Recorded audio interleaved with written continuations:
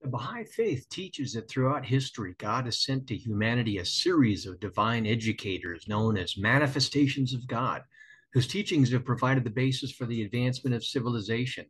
Baha'is believe these manifestations have included Abraham, Krishna, Zoroaster, Moses, Buddha, Jesus, Muhammad, and the final messenger is Baha'u'llah. In this podcast, my two guests will help us understand more about the Baha'i Faith.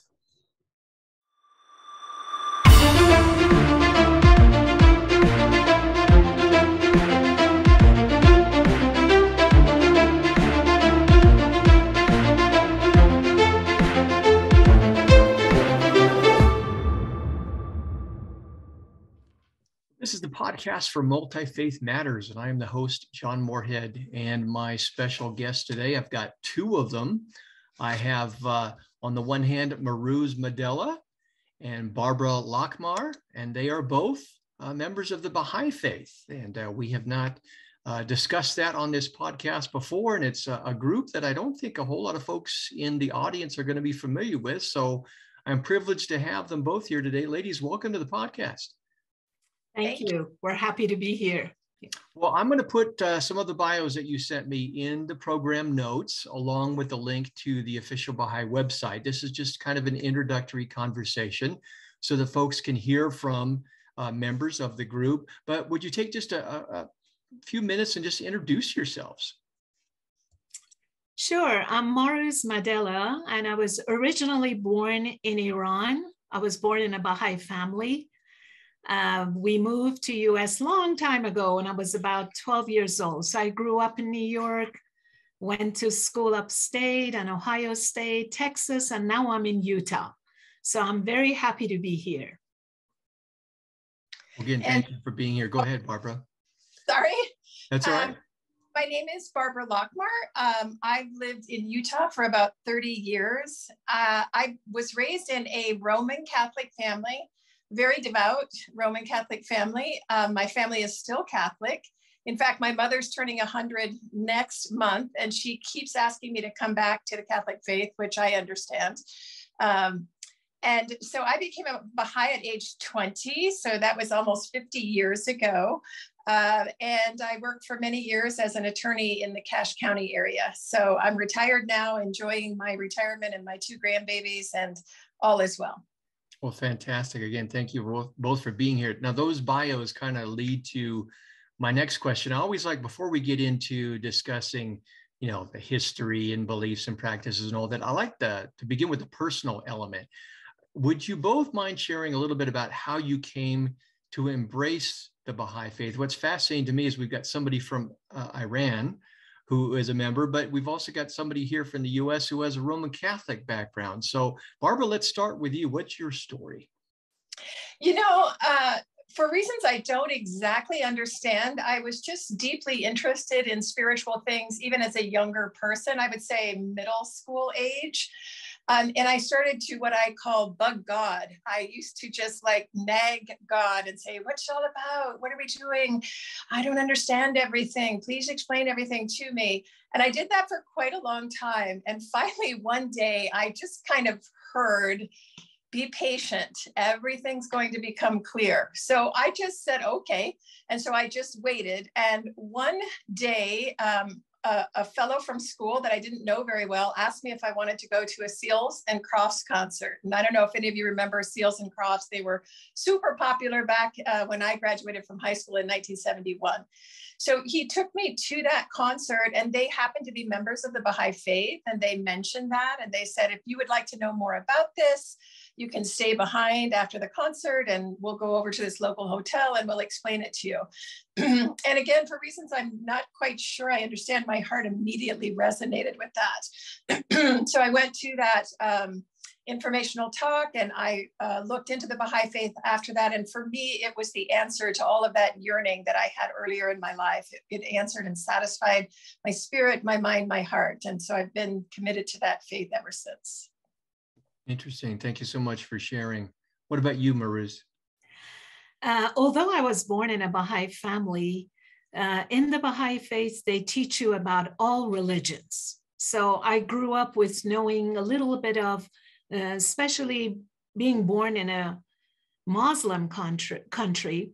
So we were learning about all religions, about God in general. And usually the age of maturity is 15 in the Baha'i faith. Um, and you can decide if you want to take more time to investigate other religions before you, or, or you may have just need more time. And nobody forces you that you need to become a Baha'i by a certain age but that is the age of maturity. And actually, I declared my faith when um, I was 16 years old. And I had siblings that they took a couple more years extra. But I love the foundation of the Baha'i faith because uh, the belief is all the God, God is one, all religions are one. It's just we believe in progressive revelation, just like when you go to school, the first grade, second grade, third grade. Um, it's a process, and that's what it's a progressive. And in the Baha'i faith, we believe Baha'i teachings, Baha'u'llah's teachings apply to today's society. Thank you both for sharing. I think it's important that folks know these aren't just about abstract ideas. These are uh, spiritual journeys and, and these are rooted in people's lives and they give them meaning and purpose. And so that personal element I think is so important. Uh, as I mentioned in the beginning, there probably aren't a whole lot of people in my viewing and listening audience that are familiar with Baha'ism. Uh, I'm, I'm, trying to think, I only know of one book that I, I, think I have largely an evangelical Christian audience. And I can only think of one book written maybe in the 1980s, I think it was, a very small book dealing with Baha'ism. So you're going to help us understand and learn more through our conversation. Let's begin with uh, the, the history, the origins of Baha'ism. Where, where does it come from? Mahrooz, I'll turn that over to you. um, you know, Baha'i faith started in the East, just like all other major religions. Uh, Baha'u'llah, uh, the Bab actually, which is the gate, the forerunner. So we believe in twin manifestations, the Bab and Baha'u'llah. The Bab is just like the uh, John the Baptist. The Bab came in 1844. His dispensation was very short. It was from 1844 to 18, um, I think about six years. Um, he passed away in 1860. He was martyred. He didn't pass away, he was martyred. So he was the herald of the faith. He came to um, bring the forthcoming of a greater manifestation, which was Baha'u'llah means the glory of God. Baha'u'llah declared his mission. It originated in Iran. And if you look at um, the history of the faith, uh, it's about 180 years old. And there are over seven or eight million Baha'is around the world, globally, of all color, race, creed, background. So Baha'u'llah came to really uh, advance the human civilization, to bring unity, peace in the world. So, Baha'is as individuals, we work towards that. Our purpose in life is to transform ourselves and help transform the society, build um, a better civilization, peace, uh, unity, unity and diversity. So, Barbara, would you like to add to that more? Well, add um, that right now, because Baha'u'llah, like all the pri- prior divine educators, was persecuted severely by the fanatical Muslim clergy of the day, was exiled four different times from his original location in Persia. Uh, he was exiled to Constantinople, to Adrianople, and ultimately into the prison fortress of Akka, which is in Israel. Uh, the world center of the Baha'i faith is now uh, centered on Mount Carmel in Israel, Haifa, Israel. So for Christian listeners, that's probably interesting to know. So many of our world faiths uh, are centered in Israel, and the Baha'i faith likewise is centered there. Well, look at you go, Barbara. Here you had you gave us all that information, and you initially turned it over to Mahrooz. So you, you did wonderful. Thank you for that. Yeah, That's right. Uh, what are some of the uh, more important and significant beliefs that distinguish Baha'ism? Well, oneness of God, oneness of humanity, oneness of religion, equal rights between men and women. We don't believe in sameness, but equal rights between men and women, harmony of science and religion, independent investigation of truth, elimination of all kinds of prejudice, whether it's color, creed, race, sex. Prejudice is like a disease in the body that it eats up. Hum, humans um, is like we are one body, really. And uh, prejudice is like a disease that eats up the whole body. It affects all of us. So, for example, in US, we look at mainly in America is racial prejudice. It is not just an issue of black or issue of white. It's like issue of all of us. We all have to come together and work on racial harmony. Education is very important in the Baha'i faith because the more educated you are, um, the more you are able to investigate the truth, the truth for today independently. Although we believe all religions are one, but we do believe in progressive revelation, that we believe Baha'u'llah's teachings apply to the, uh, today's society. But the source is one.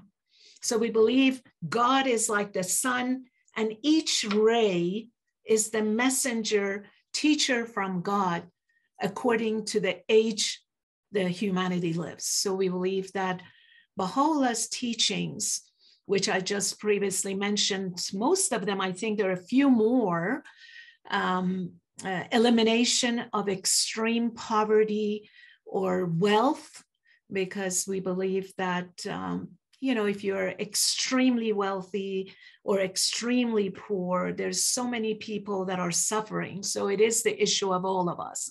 We really have to come together to help eliminate that. Um, I think I'm covering most of it. Uh, Barbara, is there any more that you like to add to? So Mahrooz mentioned, and I think for me, um, one of the most profound teachings of Baha'u'llah, and he emphasized this, is that there is only one God. And all of the major religions are a reflection of that light of God. Um, I remember when I was hearing about the Baha'i faith, I was devoutly devoted to Christ. I was a deep lover of Jesus Christ. And I wanted to make sure that my loyalty to Christ was not violated by inquiring or listening to this information. and what helped me with that was this kind of visual that I was given. If you take a piece of paper and you punch holes in the piece of paper and you hold it up to the sun, it's the same light coming through each of those portals.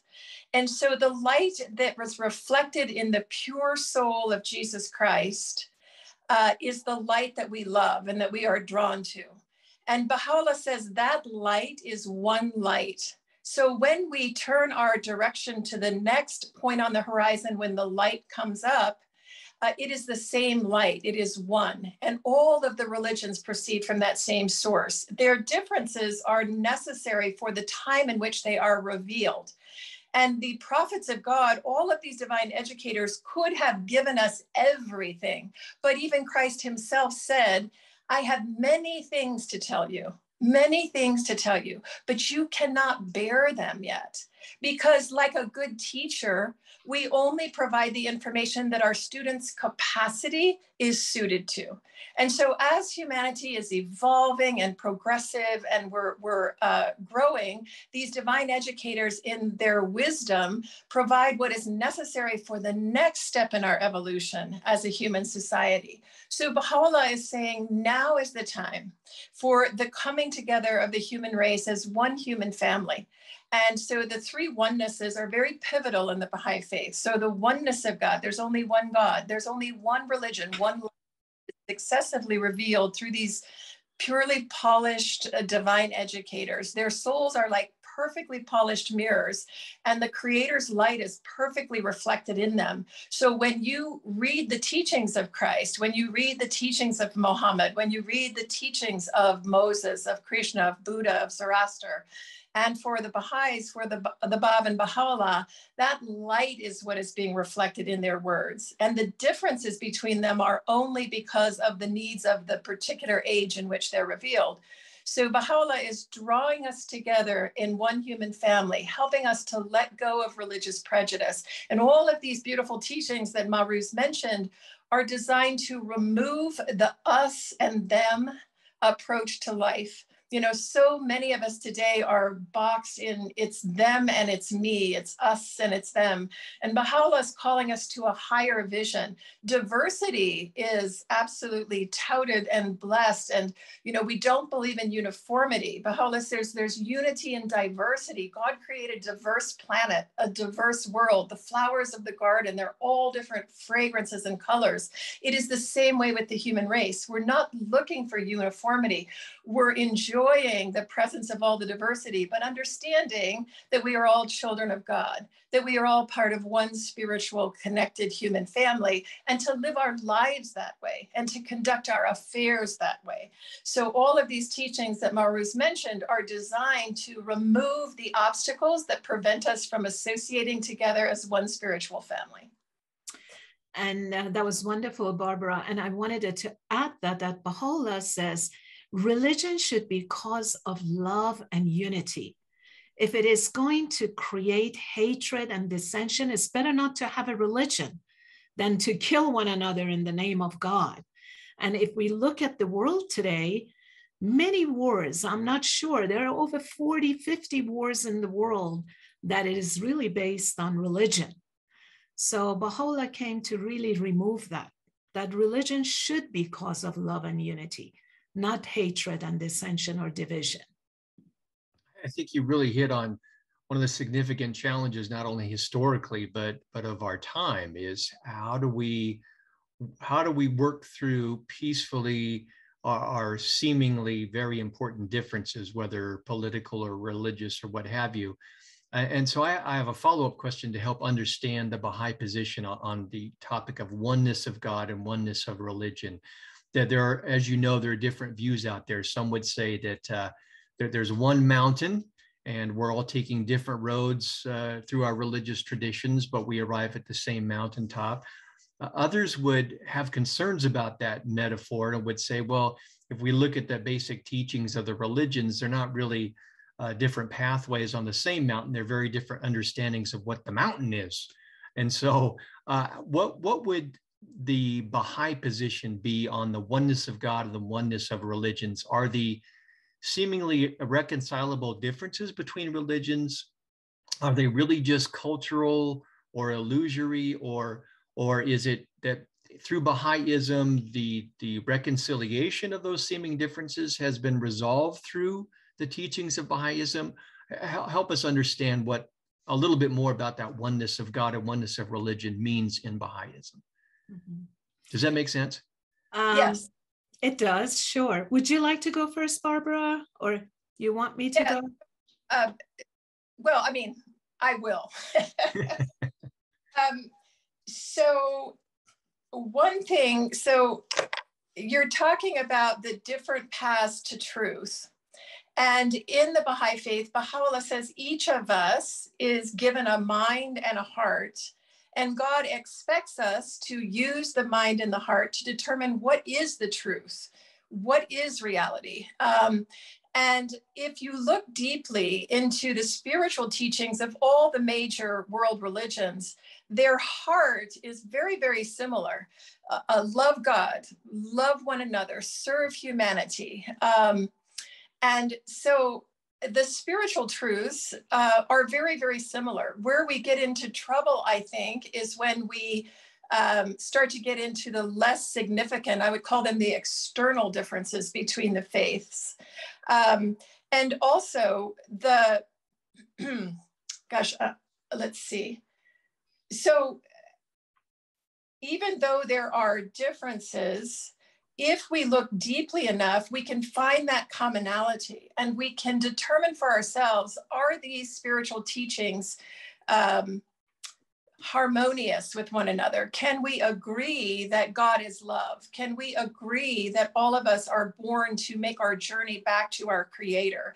And, you know, Baha'u'llah says we get into trouble religiously a lot of times when we start to understand the written word of God as a literal um, a literal truth. And so, for example, when Christ appeared, uh, many of the Jews of the time did not accept Christ. And of course, he was persecuted, crucified, and died uh, because some of the people of the time read the Hebrew Bible uh, about what would happen when Christ appeared. And I'm not a Christian scholar, but if I remember correctly, there were things like he's going to sit on the throne of David, he's going to rule with a sword, um, and all of these things. And they said, This is a poor carpenter. This cannot possibly be the one that we were expecting. And they, they crucified him because he didn't match their literal understanding of their own scriptures. So Baha'u'llah says these are metaphorical spiritual truths. The sword of Christ was his tongue, his knowledge of the truth of God, his knowledge of the essence of life, his teachings on spiritual growth and reality. That was the sword where hmm. he divided between falsehood and truth. And of course, the, the throne of David, I'm assuming, is his station as the Son of God. And so we need to look deeper than the literal physical um, interpretation of our scriptures and look deeper. What is the spiritual message being given?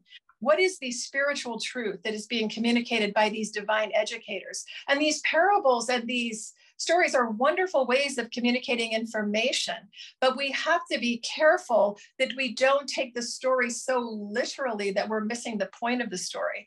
And I think a lot of the reasons why we come to sort of philosophical disagreements about the nature of reality is due to this attachment to the literal interpretation of our own sacred scriptures. And it, it's a stumbling block for us because we need to look a little deeper and we need to understand what is the spiritual reality there? And does it really disagree with the spiritual reality of all the major world religions who talk about love, who talk about unity, who talk about forgiveness, who talk about all the virtuous conduct. You know, I'll just say really quickly, and then I'll give Mahrooz a chance to jump in. Baha'u'llah emphasizes that God is unknowable for us as human beings, his creation. We cannot know God directly. We know God through these divine educators and through the attributes that they reflect into the world and that we ourselves have the capacity to reflect. So we know our creator through our virtue. And I think all of us can understand that love is better than hate, that truth is better than falsehood that oneness is better than disunity. Um, these spiritual truths are simple, but they're profound. And I think there is where you can find the commonality between the world's space. That was wonderful. Yeah. Um, you know, Baha'u'llah says, uh, I created thee to know me and to worship me. And we believe that man is created noble. So, and we have the capacity to know him as our mind allows, because we are limited based on we believe that God is limitless, infinite. So it's very hard for a limited mind to really, as Barbara mentioned, to know the limitless. We only going to know God through these uh, spirits, through these manifestations of God and they come of course in human form so they can we can relate and we can know. So it's a power that is really beyond us. And you know we can call it god we can call it um, god of our understanding god beyond our power you know a power beyond us. But really it is um, uh, are we we we are capable to investigate to know. You know man has two nature we believe you have a lower nature that comes from more of a animalistic behavior, I would say, what is jealousy, hatred, animosity. And then there is a higher nature that comes from generosity, love, kindness, forgiving. These are, we believe, attributes of God. And our job in this physical world is really to develop these virtues, these higher uh, nature, higher virtues. So it's just like, like a scale that you have this lower nature, you have higher nature. So you have to constantly work on yourself. Um, Baha'u'llah says, bring yourself to account each day for death on unheralded is waiting, and you have to have answers for your doings. So we constantly have to work on developing this higher nature. So that's development of your soul while you're in this physical world. Thank you so much for that clarification. I appreciate it. Which, which raises another question for me about your beliefs. Uh, the different religious traditions have different ideas about what the human predicament or, or state is. You know, for many Christians, it's uh, the human beings are fallen and, and have a broken relationship with God. For Muslims, we need to submit to God and so on what I think you touched on a little bit uh, uh just a moment ago, Mahrooz. What does Baha'ism understand the, the human predicament or challenge or need is in regards to the divine? What's our challenge? What's our problem? Um, you know, we are, uh, Baha'is believe that the soul is created right at the inception. Um, so although we are here in a physical world, you know, or we are, um, you know, we are here to enjoy all the physical aspects of life, but the focus of our life should be really in developing our spirit, because we believe that once you uh, leave this world, we believe that um, your physical body is like a cage where a bird, which is your soul, is inside of that cage so once the physical body is destroyed, you know, you come from dust and you go back to dust. Um, your spirit flies and it's free. Your the bird is free. So you can soar in all worlds of God. So your main purpose in this life is really uh, to develop, to develop your soul, to develop your spirit, and uh, and and we don't believe in such that you wait and work on yourself and develop yourself and then you go out to serve humanity. They go simultaneously. You develop your soul as you're serving humanity. You're transforming self as you're transforming the society. I'm not sure if i have answered your question uh, uh, john but uh, let me know. And if barbara wants to add please well, I think this might be fun to bring up at this point, and I think for a Christian audience, this might be a little shocking. But um, so when you talk about the problem of the human being, Baha'u'llah said, We are created out of love. He says, I loved thy creation, therefore I created thee. And we believe that, that God created us noble. Mm-hmm. Uh, and that uh, our job in life you know, in the Bible, we are taught that Satan is a separate entity from us and that Satan is out there tempting us and, and going to maybe come and try to take over our thought processes and our choices and, and have us end up in a very dark place. Um, Baha'u'llah says Satan is a metaphor for the ego and for the ins- what he calls the insistent self or our uh, our tendency, uh, we all have it. And really, the main crusade in life is against the insistent self. So that the ego, the insistent self, the selfish part of our nature, the lower part of our nature, the animalistic part of our nature is trained by the higher, more sublime, noble part of our nature, and that we are the rider of that horse. So we direct the ego the way that we want our soul to direct it so that we are not victims of our own selfishness and our own uh, baser appetites. So, really, the path through life, I always call it that darn free will. Uh, because we have been given by our creator the choice of which side of our nature it, you know that old native american thing that says i've got a i've got a um, or in the cartoons of, of, of the 50s, you know, the angel and the devil here, you know, and our uh, our job is to strengthen the noble angelic side of our nature so that it controls or uh, keeps in check the lower part of our nature. And we do that through our free will. We have to make those choices every single day of our lives to keep that insistent self from running amok, from taking over, from causing harm.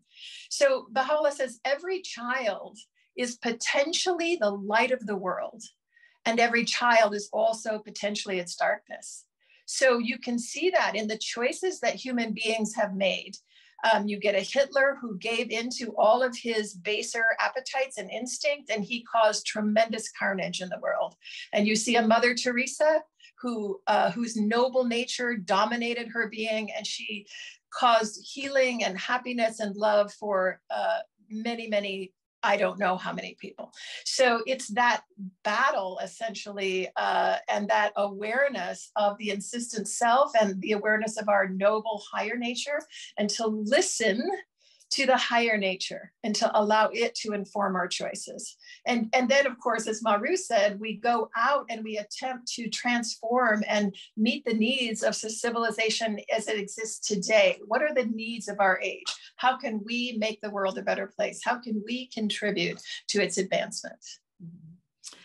And just to add to Barbara is, you know, we don't believe there is an actual place called hell or an actual physical place called heaven. We believe heaven is really closeness to God. And the further you're from God, um, it becomes hell for you. And uh, we do have the free will, as she's explained, that uh, you choose, that you really work on your ca- character, um, work on ego constantly. Ego is something that it's a constant battle with ourselves that we have to constantly check it, check our ego. Because we are humans and we have that lower nature, but we have the tools how to overcome the lower nature, not to go with whatever our um, lower nature wants and desires, instinct, the moment. So it's a constant battle, but we have the choice and we are we have the capacity and we can do it. Each person has the capacity. That's all very helpful. I think you know we have to understand the the essence I, th- I think a lot of things that flow out of the different religious traditions kind of go back to what do you where do you see the human being where, where are we in the universe our relationship to the sacred and, and what what challenges do we face and, and that was very helpful um, does baha'ism have its own uh, sacred scriptures, sacred writings? And if so, could you speak a little bit to that? Sure. We have, um, just to get back on, John, what you were saying just before you ended, and it's really true. As Baha'is, we believe we are in the adolescent stage of humanity. You know, we have passed childhood, so now we are in the adolescent stage. Uh, there's some Baha'i writings, the, we have the most holy book, it's called Kitab-i-Aqdas in the Baha'i faith. It's the book of laws. But there are so many books written by Baha'u'llah himself and translated in so many different languages by his grand, uh, great grandson.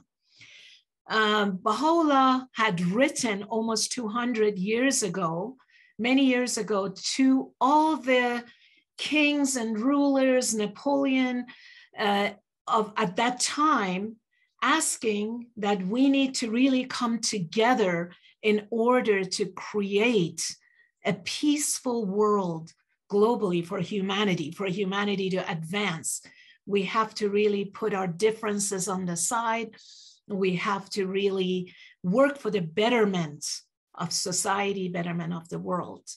But many of them didn't listen, but there are a few that, uh, one of them was Queen Marie that became Baha'i at that time. And we do have uh, one or two rulers at the moment that are Baha'is. One is King of Samoa, and I'm not sure of the other one.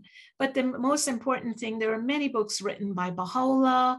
Abdul Baha, which was the son of Baha'u'llah, was center of covenant in the Baha'i faith. The guardian of the faith, which was the grandson of uh, Abdul Baha, um, written many books, translated many as well of Baha'u'llah's writings and Abdul Baha's writings in many different languages. Uh, and now we have, of course, the Universal House of Justice, which is the infallible institution of the Baha'i faith. Uh, the administrative portion of the Baha'i faith is really um, very perfectly, uh, it has stopped the faith from dividing into different sects.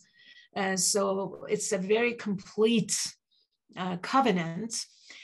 Uh, and it's very detailed. I don't want to go into it at the moment, uh, but uh, yes, there are many, many books written by Baha'u'llah himself. And, and I'll just jump in, John, because I was just listening to a YouTube video um, and there was uh, an individual Baha'i scholar who actually worked in Haifa, Israel at the World Center of the Baha'i Faith, and he was assisting with translation. The original writings of Baha'u'llah are either in Arabic or Persian, I believe. Th- those are the languages because that's the area of the world that um, he existed in. Uh, and, you know, we were talking about the insistent self and the ego. And, you know, Baha'u'llah says our creator never leaves us alone. That's why these divine educators come to instruct us and educate our souls so that we understand what we're doing here, so that we understand the nature of our creator and our own nature. Um, and uh, this man, uh, Dr.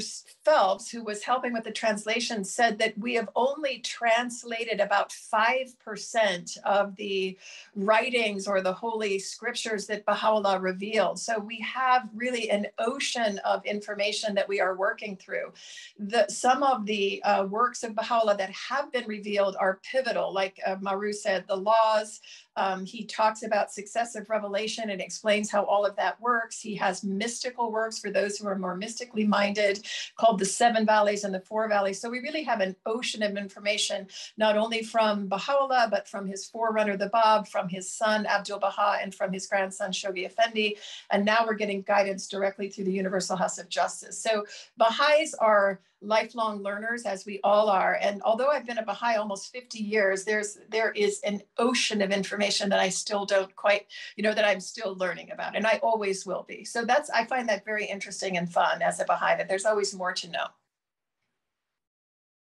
Yeah, it's it's interesting. Not only do I spend a lot of time in uh, multi-faith dialogue, trying to learn about other religious traditions of my neighbors, but uh, I, I've I've constantly learning about my own, the depths of my own religious tradition. You know, I think I learned more about my own faith after going to seminary and receiving, you know, formal theological education than I did when I was in school. So it is a lifelong process for all of us. So I appreciate that.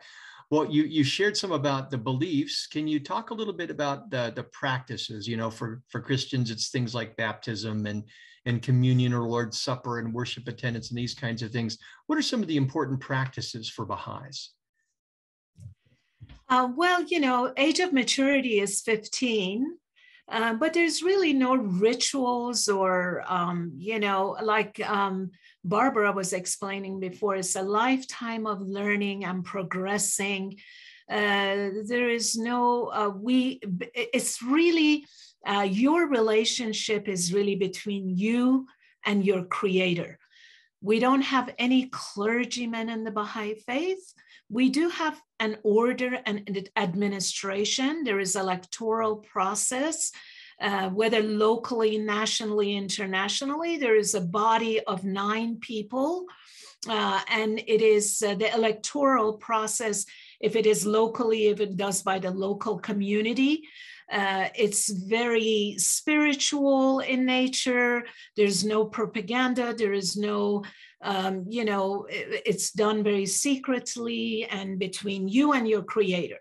And this goes from national and international level. So the administration is very complete, but the relationship of person is really between you and God. Uh, and prayers, of course, are very important, whether if it is to do individually in your own home.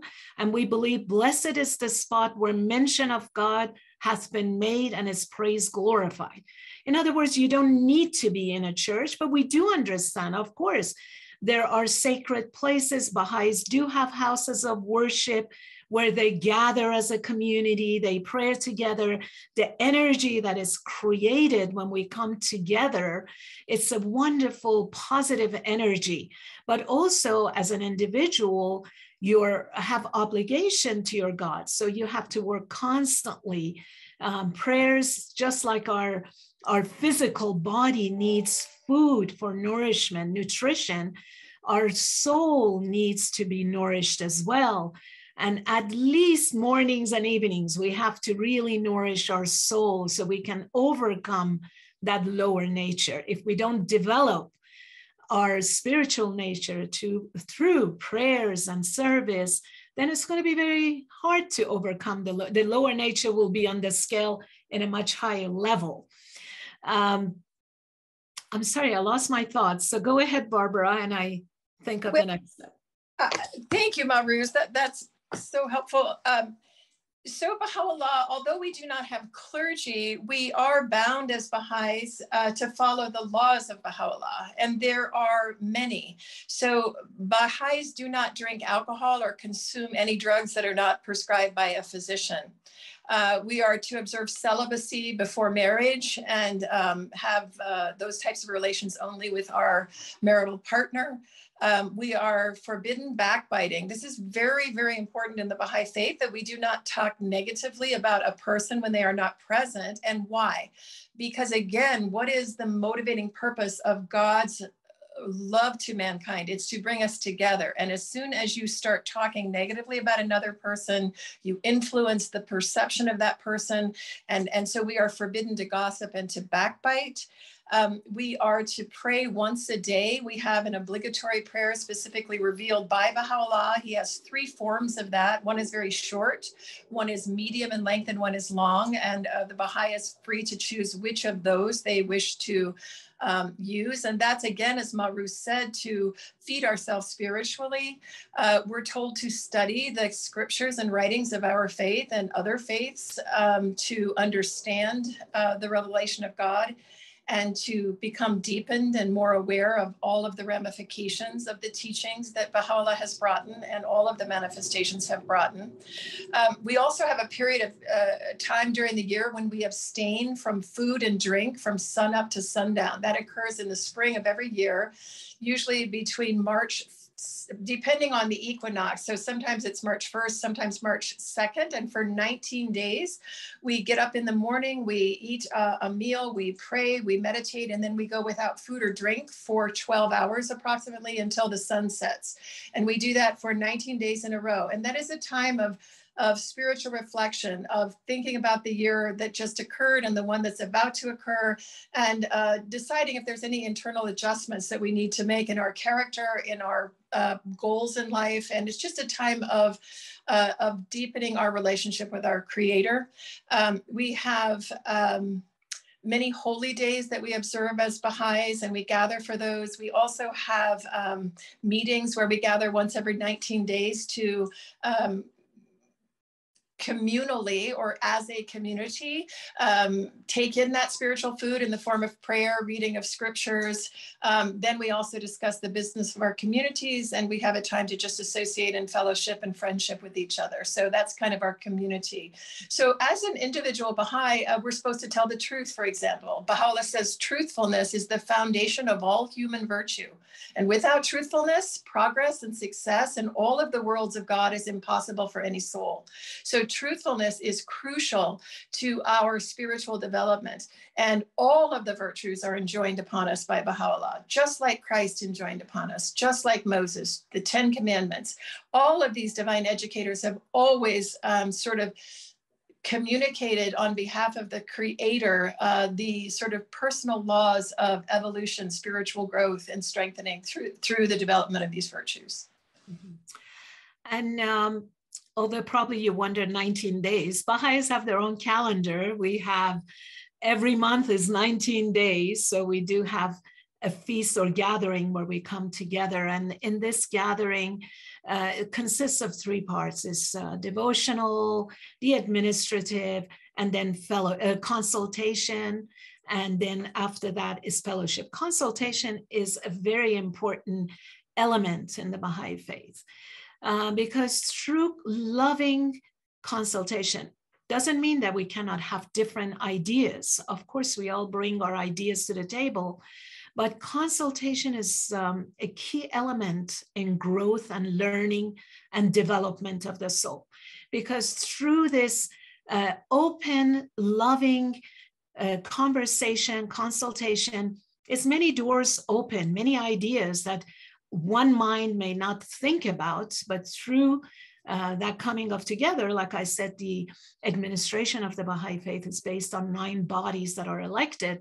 So these nine bodies, when they come together through prayers, through uh, really meditation and then consultation, and once you put your idea or your opinion on the table, you really have to work on the detachment part to be detached from the outcome of that idea. And all of these things that we're saying is actually, you know, we believe Baha'i teachings are perfect because they come from God. But we as Baha'is, we are just humans.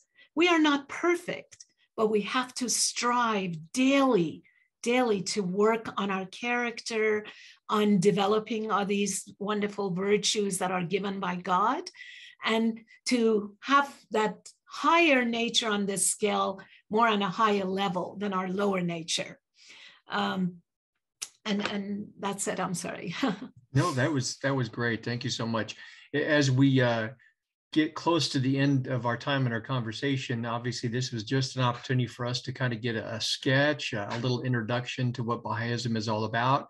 And we're going to encourage folks to go to the website and talk to find a Baha'i in your community and and talk to them and get to learn more. But this last question I have might be a little more challenging, but I think it's an important one.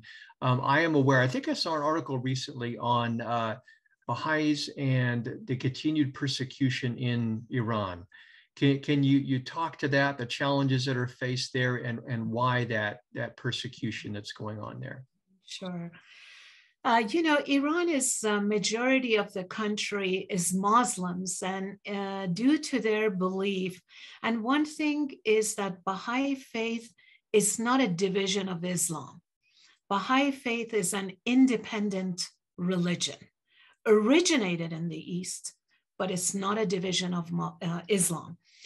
And uh, being in an, an Islamic, uh, if you really study the history, the loss of their faith.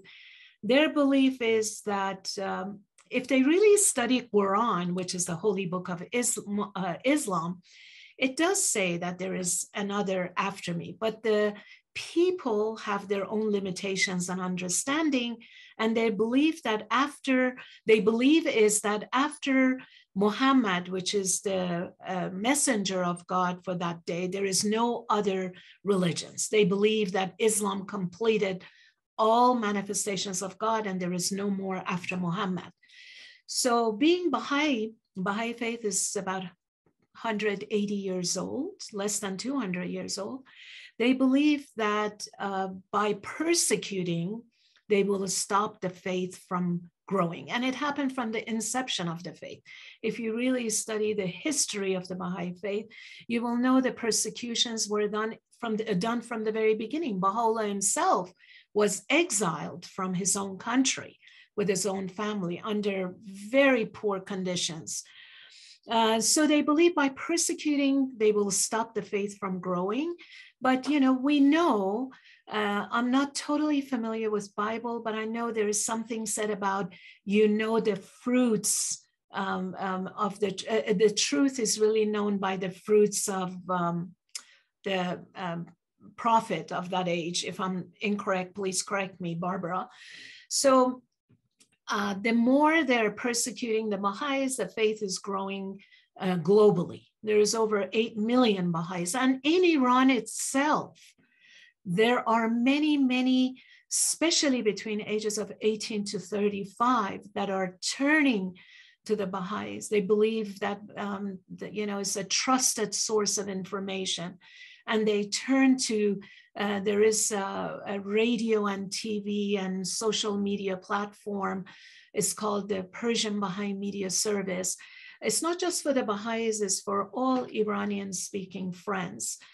And what Baha'is really at the moment are doing globally is a total belief in community building process wherever we reside as an individual because we believe an individual is a protagonist. As an individual um, we really have to work to become more empathetic and leave you know because sometimes there are certain certain of us that live in an apathetic stage so we really have to become protagonists of our own a neighborhood, wherever we reside, to make a difference. So, this community building process, uh, wherever we reside, we have to have a positive effect on the growth and development of the society. And it, we have programs, of course, for children, junior youth, adult, meaningful, elevated conversations that we need to really, instead of focusing on uh, conversations that bring us down or create negative energy, to really uh, be uh, in, in elevated conversations about uh, growth of our children, because like Barbara said, they're treasures of our community. What can we do to bring them to work together rather than against each other, to compete against each other? So in Iran, majority of the people that are being imprisoned or persecuted, they're doing nothing except helping the civilization, helping the humanity in that country to advance. To, they help the children, they help the adults. So there is a lot of um, uh, friends of the faith. I don't want to call them non Baha'is, but they're friends of the faith that totally love the Baha'is and what they're doing, but they're afraid to say anything because of uh, the, the people that are in power um, so if you're familiar or or be or make yourself a little more familiar with what is going on around in Iran, is that no one really has a voice, even the ones that are friends of the faith. They want to defend that what the Baha'is are doing, it's only for advancement. They're not trying to convert. You know, one thing about the Baha'i faith is that we're not here to convert anybody. That is not our job. Conversion is really God's job and between the person and God. But our job is here to share our gift with humanity. We believe that message of Baha'u'llah is a remedy to all ills of mankind, to today's, you know, today's problems of the world.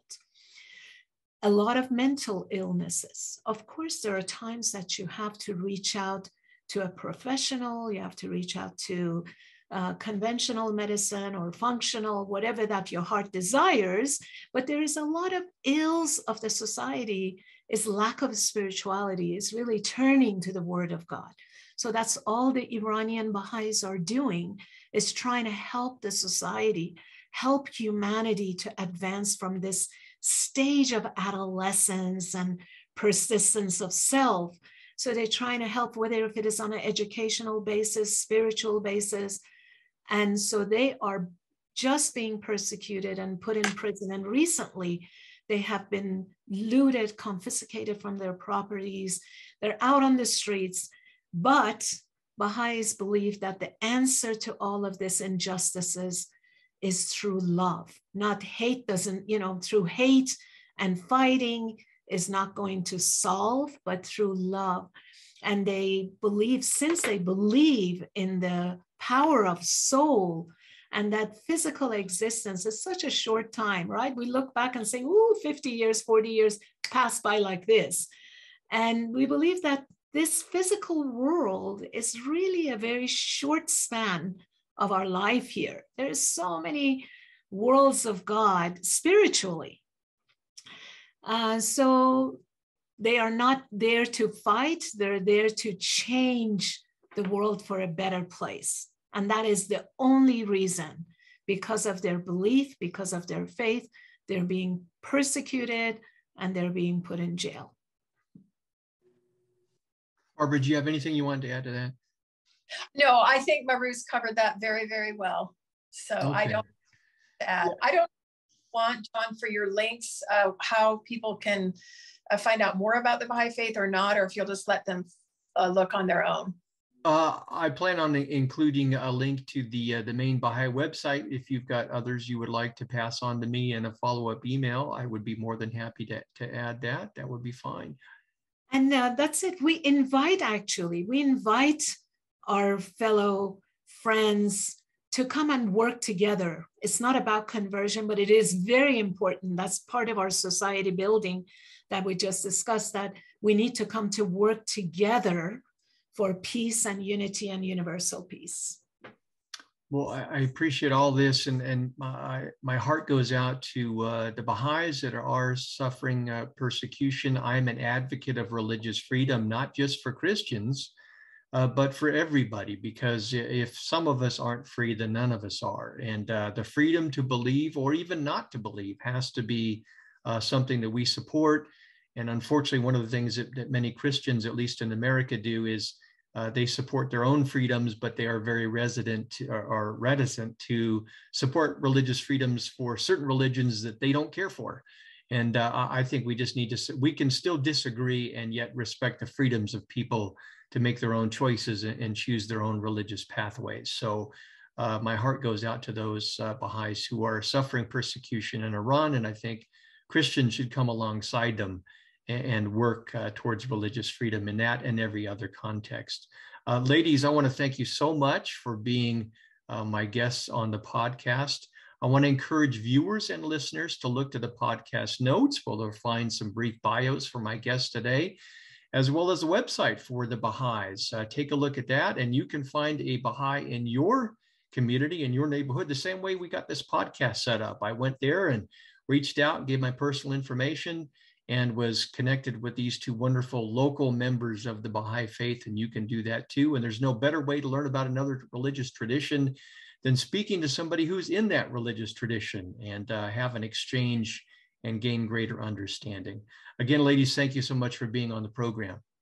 Thank you for having us. Yes, thank you for having us and thank you for this work that you're doing. It is very healing and I think a wonderful contribution that you're making. So thank you for your efforts to do this. Thank yes. you again. This is the podcast for Multi Faith Matters. I'm the host, John Morehead. Thanks everyone for watching and for listening. Until the next episode.